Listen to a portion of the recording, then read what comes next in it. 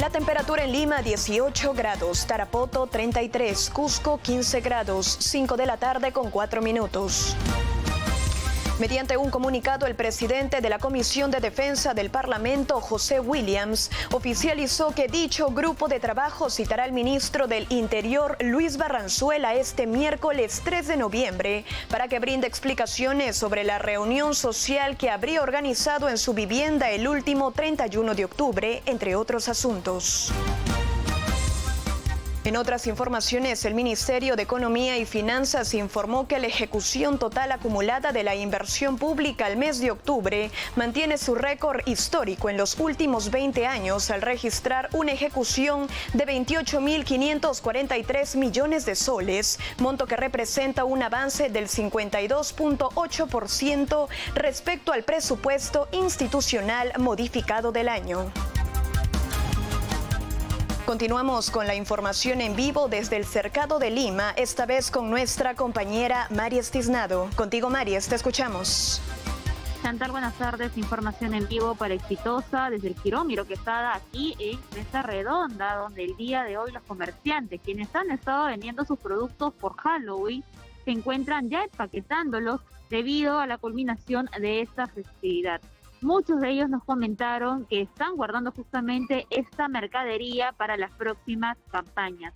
Mencionar también que el día 29 y 30 fueron los días donde se incrementó la venta, como nos manifestó la dueña de un stand. Escuchemos. La venta este mes, ¿cómo ha sido? Bien, muy bien. ¿Les ha ido bien? ¿Han recuperado parte de lo del año pasado? Hemos recuperado y hemos ganado también.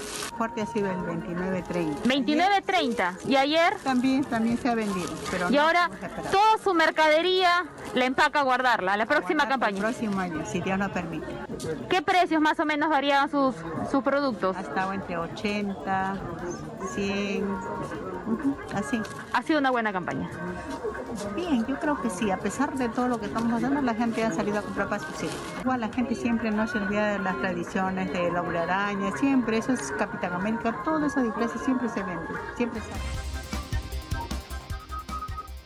Bien, en los próximos días los comerciantes empezarán ya a colocar los productos sobre la Navidad debido a la proximidad de esta celebración y pues muchos de ellos también esperan que las ventas sean buenas como en esta oportunidad. Asimismo, precisar que el día de hoy hay muchos puestos que por este feriado largo han decidido no abrir. Es parte del panorama que tenemos a esta hora de la tarde. María Cisnado para Exitosa Perú en Lima, 95.5 de la FM.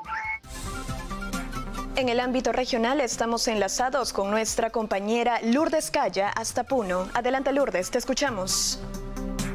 Buenas tardes, información en vivo. Tres personas murieron y cuatro resultaron heridos tras el choque múltiple ocurrido en la vía Juliaca-Cusco, cerca del puente Maravillas.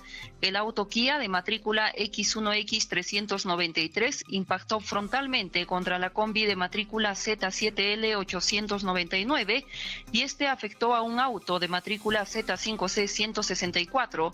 Los fallecidos fueron identificados como Javier Mamani Quispe, de 43 años, conductor de la combi, el conductor del auto Kia, que no fue identificado, y la copiloto de este auto, Elizabeth Vicente Pérez, de 28 años.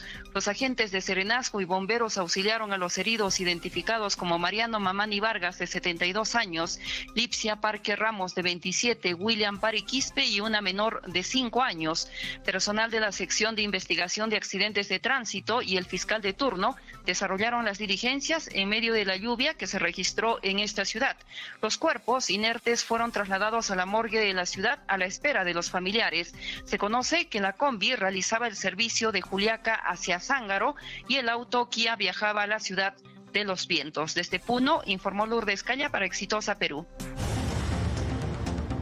Y en el ámbito internacional, un juez de los Estados Unidos desestimó siete de los ocho cargos de lavado de dinero contra el empresario Alex Saab para cumplir con las garantías dadas a Cabo Verde en el proceso de extradición.